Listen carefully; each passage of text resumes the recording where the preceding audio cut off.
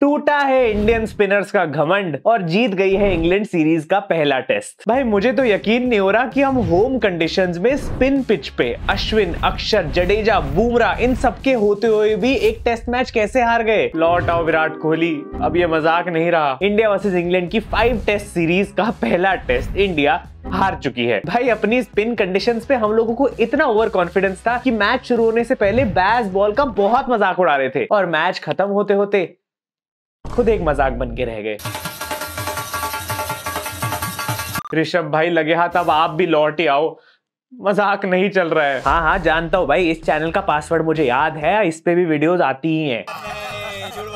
बस कुछ टाइम से वो दूसरे चैनल पे ज़्यादा वीडियोस डालने लग गया था वहाँ पे फॉलो नहीं कर रहे थे तो भाई जाके पुरानी वीडियोस देख लो। बट इस चैनल पे भी अब से वीडियोस आएँगी तो दोनों को पहले से सब्सक्राइब करके रख लो। और इस चैनल पे तो वैसे ही पाँच लाख सब्सक्राइबर्स कंप्लीट होने वाले तो टेस्ट सीरीज़ खत्म होने से पहले पहले एटलीस्ट ये तो करवा दो कंप्लीट ओके दुख दर्द पीड़ा पेन सोचा था इस सीरीज़ में बैस बॉल की धुलाई करके वर्ल्ड कप का दुख भुला देंगे, लेकिन लग रहा है जैसे ये सीरीज़ आगे बढ़ रही है, उल्टा हम और डिप्रेशन में चले जाएँगे। रोहित भाई, आपके राज में ये सब क्या चल रहा है? हमारी मिडिल ऑर्डर से अच्छी बैटिंग हमारे टेल एंडर्स कर रहे हैं। शुभमन गिल, श्रेयस अय्यर, अगर ये लोग ऐसे खेलेंगे तो अपना फ्यूचर टेस्ट क्रिकेट का बहुत खतरे में है। पहले एटलीस्ट डब्ल्यूटीसी के फाइनल में क्वालिफाई तो हो जाते थे। जीतते ना जीतते वो अलग बात थी, लेकिन अगर हम अपनी होम सॉइल पे ही इतने ईजी मैचेस हार गए तो फिर तो फाइनल भी नहीं निकाल पाएँगे इस बार। ये भी ठीक है, ना कोई उम्मीद होगी ना कोई दर्द होगा। सर आपने तो दिल पे ले लिया। पोस्ट मैच प्रेजेंटेशन में रोहित भाई से पूछा गया कि आपको क्या लगता है अब मैच कहाँ हारे? तो अपने चैट रोहित भाई कह रहे हैं कि चार दिन से मैच चल रहा है। अब किसको याद रहेगा कि किस पॉइंट पे मैच हारे हैं? रोहित भाई, वो कैप्टेंसी करने का तरीका थोड़ा कैजुअल लग रहा है ये। भाई 2013 से लेके 2022 तक अपने होम टेस्ट में सिर्फ़ दो डिफीट थी। और उसके बाद से 2023 से लेके अभी तक में पिछले तीन टेस्ट में से दो हम हार चुके हैं। सीरियसली भाई, ये मज़ाक की बात नहीं है कि हम सेकंड इनिंग्स में इतनी अच्छी लीड लेने के बावजूद भी ये टेस्ट मैच कैसे अपने हाथ से जाने दे सकते हैं? अभी तक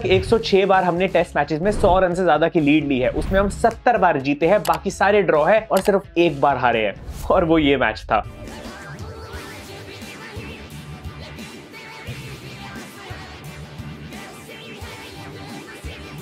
ऑनेस्टली बोलूँ तो जैसे जैसे मैच आगे बढ़ता जा रहा था, ऐसा लग रहा था अपने प्लेयर्स की इंटेंसिटी ही खत्म हो गई है। बस सब लोग वेट ही करे जा रहे थे कि किसी तरह इंग्लैंड खुद कोई गलती कर दे और हमें विकेट मिल जाए। कहा वो विराट और शास्त्री का एरा होता था भाई, जिसमें हर बंदा विकेट का भूखा होता था और अग्रेशन दिखाई देता था फ़ील्ड में intensity all over the place होती थी। बट अब तो ऐसा लग रहा है अपने प्लेयर्स को आदत ही होगी है, बस दो तीन दिन में मैचेस निपटाने की। जहाँ मैच चौथे दिन चला जाए, वहाँ इन सब की हालत टाइट हो जाती है। देखो इतने टाइम से कुछ जीते भी नहीं थे तो लग रहा था टेस्ट टीम में चेंजेस लाने की ज़रूरत है तो क्यों ना यंगस्टर को चांस दिया जाए। और इस मैच की परफॉर्मेंस देख के लग रहा है कि यंगस्टर्स को क्यों मौका दिया जाए? स्पेशली ये एक यंगस्टर को तो बिल्कुल ना दिया जाए।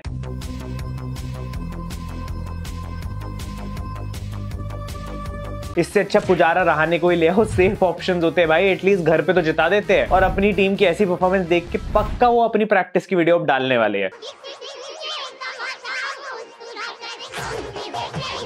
देखो डे फोर पे थर्ड सेशन शुरू होने से पहले टी के टाइम पे हम लोग क्रूज कर रहे थे। 130 रन चाहिए थे, सात विकेट्स पड़ी थी के राहुल बैटिंग कर रहा था।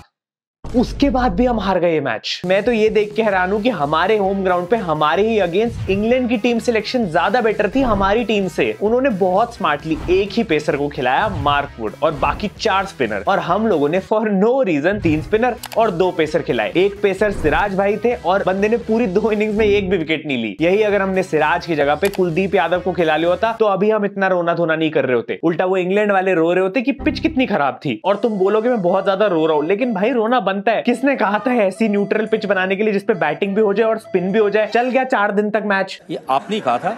अच्छा मैंने ही कहा था क्या?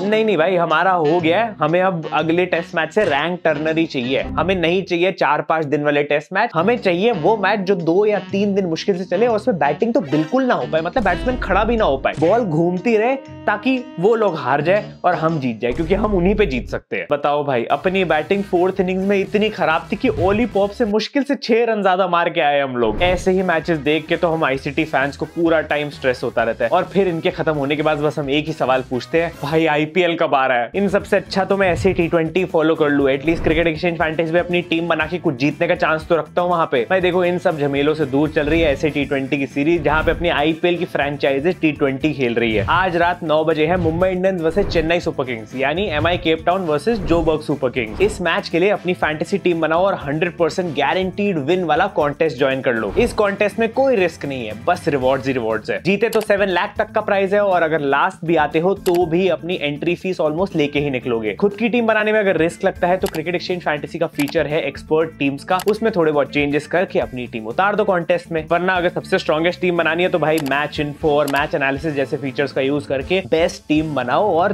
जीतो भाई। इतने सारे और अच्छे फीचर्स कोई और ऐप नहीं देती है फैंटेसी में, इसीलिए टॉप रेटेड फैंटेसी ऐप है। डिस्क्रिप्शन में लिंक है डाउनलोड कर लो और कॉन्टेस्ट फटाफट से ज्वाइन कर लो। नौ बजे आज रात को मैच होने वाला है। और अगर इस मैच में नहीं करना तो ऐसी टी ट्वेंटी के और भी बहुत सारे मैचेस में कर सकते हो। नो रिस्क मेगा कॉन्टेस्ट हर मैच के लिए वैलिड रहेगा। खैर देखो अभी आगे बढ़ने से पहले ओली पोप को अप्रिशिएट करना बनता है। माना इसकी वजह से हमारी टीम हार गई हमें और स्ट्रेस हुआ हमें बुरा लग रहा है और अब मन नहीं कर रहा क्रिकेट देखने का। बट फिर भी एज अ जेंटलमैन हमें अप्रिशिएट करना पड़ेगा भाई को। सह लेंगे थोड़ा सा मुश्किल बैटिंग कंडीशन थी। थर्ड इनिंग्स में बैट कर रहे हो तुम और फिर भी 196 रन बना दिए बंदे ने। अपनी पूरी टीम मुश्किल से इसके टोटल के आसपास आ पा रही थी। और बंदे की डेडिकेशन ऐसी है कि इतनी लंबी बैटिंग करने के बाद फील्डिंग पे भी आ गया और तगड़ी फील्डिंग करिए एकदम इंपॉर्टेंट पोजीशन शॉर्ट लेग वगैरह पे लग के।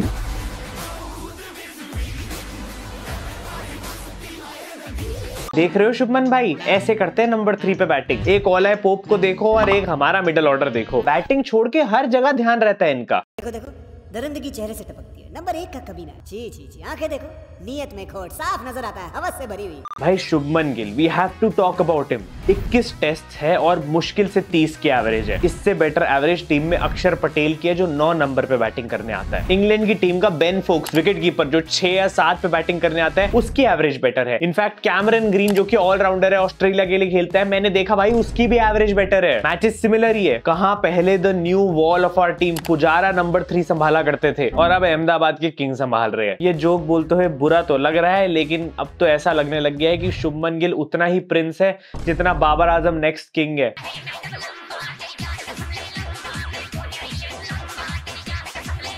रोहित भाई, अब बारी आ चुकी है। थोड़ा बैक स्पेजम इधर भी दो। और ये तुम लोग कमेंट्स में डिसाइड कर लेना कि अय्यर भाई को कौन सी इंजरी देनी है सोर ग्रोइन की? लेफ़्ट पे या राइट पे? क्योंकि मुझे पता है तुम इस बात से अग्री करोगे कि एक टांग पे खड़े होकर ऋषभ पंत, शुभमन और अय्यर दोनों से ज़्यादा रन बना सकता था इस मैच में। मैं क्यों एक टांग पे खड़ा हो रहा हूँ? स्पिनिंग पिच थी और श्रेयस अय्यर तो सो कॉल्ड स्पिन स्पेशलिस्ट भी है भाई। मैच इससे पहले कह रहे थे, मैं तो अटैकिंग खेलूँगा। इससे ज़्यादा अटैक तो सिराज मिया ने कर दिया। अब थोड़ा टीम में रजत पाटीदार को जगह दे दो, वरना कोई आप पे अटैक करने ना आ जाए।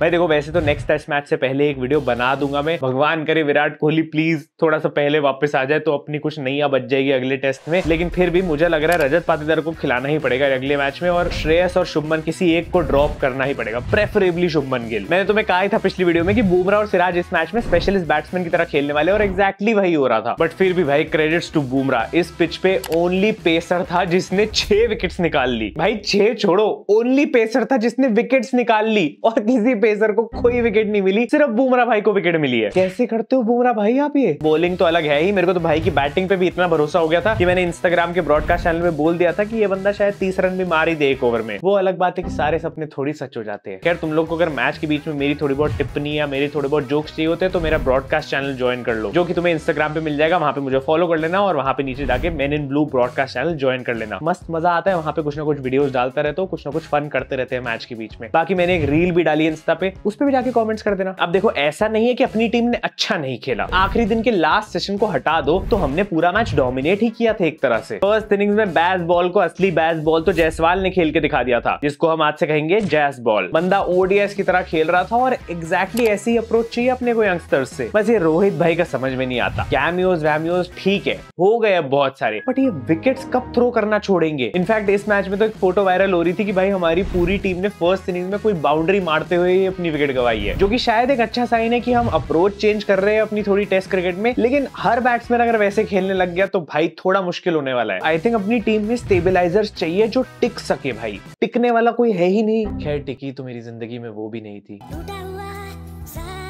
और यार इतने बुरे दिन भी नहीं आए कि हम मैच हारने के बाद दोष बुमराह और सिराज पे डाल देंगे बैटिंग का। अरे कब तक तेरी गलतियों का टोकरा मैं अपने सर पर घुमाता रहूँगा? देखो ऑल थिंग्स असाइड अपनी टीम से जडेजा वाज एब्सोल्युटली ब्रिलियंट भाई। बैट बॉल दोनों से। कि मेरा एरिया है और एरिया में कोई भी इंटरेस्ट नहीं करना। ऐसा दो दिन में खेल दिखाऊँगा कि चार दिन से पहले अपना एरिया साफ़ कर दूँगा ओके रन भी बनाए थे विकेट्स भी निकाली थी, बस थोड़ी सी किस्मत खराब रह गई, जो सेकंड इनिंग्स में बंदा रन आउट ही हो गया। बेन स्टोक्स हर बार ये बेन स्टोक्स कोई ना कोई दिक्कत खड़ी कर देता है हमारे लिए। सिमिलरली अक्षर पटेल ने भी डिसेंट नॉक ही खेला बट सेकंड इनिंग्स में उतना अच्छा नहीं कर पाया बंदा। इवन दो प्रमोट किया गया था, पता नहीं वो डिसीज़न क्या था but still kind of okay था। और ये तो बस अश्विन अन्ना का मूड नहीं था, वरना बोलिंग तो बाद में अश्विन अन्ना पहले अपने बैट्समैन को ये सिखाते कि इस पिच पे हंड्रेड कैसे मारी जाती है। बंदा इतना सही टिक गया था यार के एस भरत के साथ पार्टनरशिप बना दी थी इतनी बढ़िया। एंड मैं तो मानता हूँ के एस भरत ने भी बहुत ज़्यादा अच्छा खेला ऐसे ही खेलना है यंगस्टर्स को। बट फिर आ गया इनका ये टॉम हार्टली पहली इनिंग्स में तो भाई ये बहुत ट्रोल हुआ बेचारा। सौ रन से ज़्यादा खा लिए थे इसने अपनी बॉलिंग में। फिर आके दूसरी इनिंग में पता नहीं कहाँ से सात विकेट ले ली। लग रहा है अपनी टीम विराट भाई को ट्रिब्यूट दे रही थी, ये डेब्यूटेंट स्पिनर को विकेट्स देके। बचे अपने के राहुल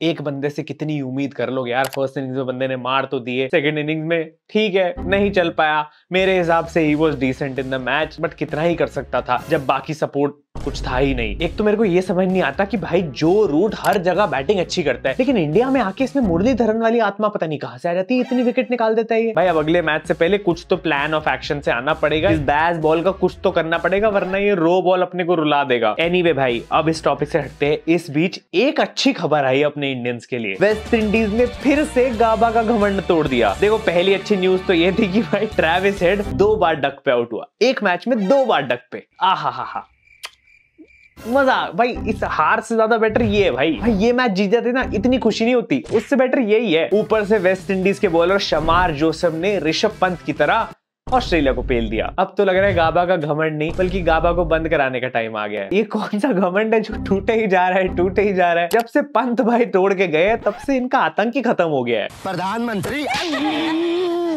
जब से तू मिला ना अपना तो आतंक ही खत्म हो गया यार। भाई बट अगर तुमने ये मैच नहीं देखा तो यार इसकी हाईलाइट जाके ज़रूर देखना। शमार जोसफ ने क्या ही बॉलिंग करी है। बंदे को इंजरी हो रखी थी। इंजेक्शन लेके आया और अपने कैप्टन को बोला, भाई, मैं तब तक बॉल डालूँगा जब तक मैं विकेट्स नहीं लाके देता। नौ ओवर कंटिन्यूसली डाले 140 की स्पीड के साथ। डेडिकेशन है भाई। फुल सल्यूट और ऐसी ही डेडिकेशन के लिए तो हम लोग टेस्ट मैचेस देखते हैं। यही तो मज़ा है टेस्ट मैचेस का। इनकी जीत तो इनके लिए बहुत ज़्यादा बड़ी थी और खुशी दिख भी रही थी। होप करते हैं भाई अपनी भी टीम कुछ ऐसा कर ले अगले मैच में और हम भी थोड़ा खुश हो जाएँगे। बाकी तुम लोग चैनल को सब्सक्राइब कर देना वीडियो को भी लाइक कर देना और टेलीग्राम पे मुझे ज्वाइन कर लेना इंस्टाग्राम पे जाके फॉलो कर लेना। और अगर तुम हमारी टी ट्वेंटी वर्ल्ड कप की स्क्वाड के बारे में जानना चाहते हो तो ये वाली वीडियो जाके देख सकते हो दूसरे चैनल पे। बाकी अवार्ड वीडियो पे काम चल रहा है। आ जाएगी जल्द। इस मैच की वजह से थोड़ा सा डिले हो गई। मिलते हैं अगली वीडियो में। Thank you so much watching love you all bye bye